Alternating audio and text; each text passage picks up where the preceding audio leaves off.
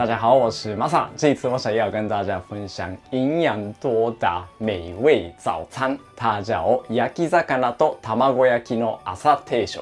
然后中文是烟烧金鱼一子烧早餐定时。我个人很爱吃沙巴，就是金鱼，跟其他鱼类比起来，金鱼的油分还多，意思是它包含很多 omega 三，就是对身体好的成分。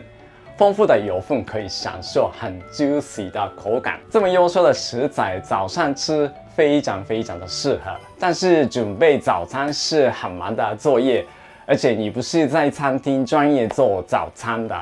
在家还有很多事情要处理，而且冬天早上很冷，可以的话晚一点起床比较好嘛。所以这一次介绍的各种料理设计的尽量轻松一点，有的流程还可以前一天准备起来。这样子的话，为了早餐不需要那么早起来，那做法是很简单。好，那我们就开始做。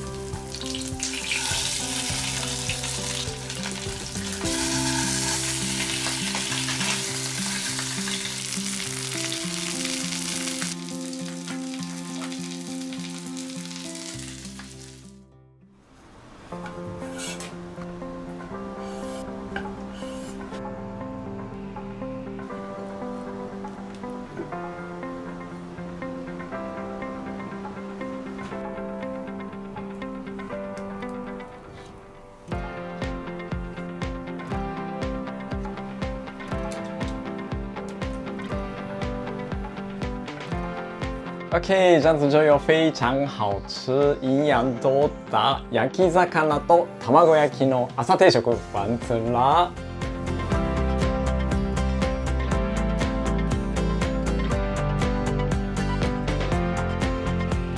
好了，那现在就可以开始吃了。超爱吃这个沙巴，就是金鱼哦。大家有听到这个酥脆的声音吗？好喽，那我来把这个萝卜泥蘸在上面。对吧？ いただきます。嗯，它的口感非常非常好，就是吃到这个鱼皮嘛，就非常酥脆，然后里面是很 juicy，里面有包含很多油分。所以咬起来就很多这个水分出来的。和这个味噌汤，这个香吉骨就是啊山东号，这个也是我很爱吃的。 嗯，像这样子冬天很冷的早上喝这一种味噌汤是非常的适合。好，接下来我要吃这个玉子烧，使用平底锅其实也可以做出来跟四方形接近的形状。いただきます。就是那种经典的早餐的样子，里面有一点这个啊日式高档的风味，非常好吃的。好，接下来我要吃这个泡菜。 嗯，它的咸度。刚刚好，就是它被摆放就非常好吃的。好了，这次介绍的料理做法非常的简单。早餐是一天内最重要的餐，问题是早上起来之后不要太累煮菜，等一下就要出门上课或者是上班。还是在家还有很多其他事情要做，所以看完这支影片以后，不一定要马上动起来做一模一样的，先看一下流程，再思考早上哪个部分还可以接受，做做看。如果一直烧觉得麻烦的话，没关系，可以改成荷包蛋。如果没有味噌，那改成蔬菜汤也好。重点是尽量吃。多种类的食材就是营养分，这样子才会养自己的保护力。希望大家享受很元气、元气的早餐，谢谢。